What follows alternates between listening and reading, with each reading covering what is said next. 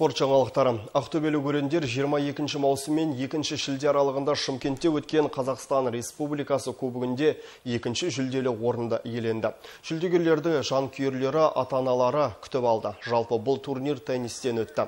12 жасқа дейінгі жасөспірімдер қатысқан жарыста 18 команда бақ сынады. Сайыста жеңіс тұғырынан жетісулық жеткіншектер көрінді. Ал үшінші орын елордалықтарға бұйырды.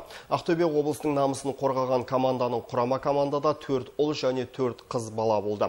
Бәрі де жақсы дайындықпен барды. Жалпы бұл жарыс республика көлемінде жыл сайын дәстүрлі түрде өтіп келеді.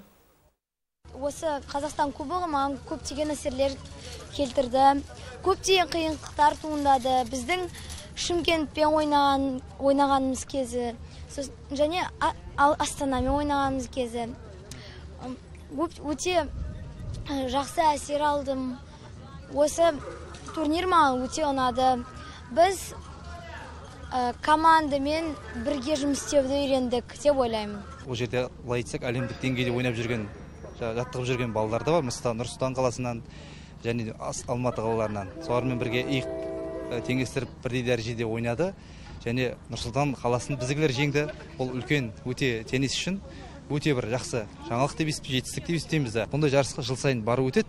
Осыған дейін бір екі жыл бұрын осында біздің ақтөбе облысы үшінші орын алған болатын. Ал мынау бізде тұңғыш рет екінші орын алып жатырмыз енді. Бұл алға жылжу яғни бұдан кейін бірінші орын болады деген сенімді түрде айта аламыз.